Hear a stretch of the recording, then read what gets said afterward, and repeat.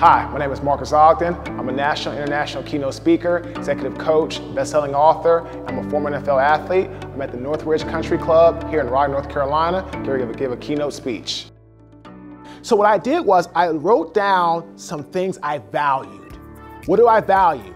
Time with my family, freedom, being able to make my own decisions, helping people. You need to create values around your new person then the habits you create because of those values that you execute on a daily basis become second nature.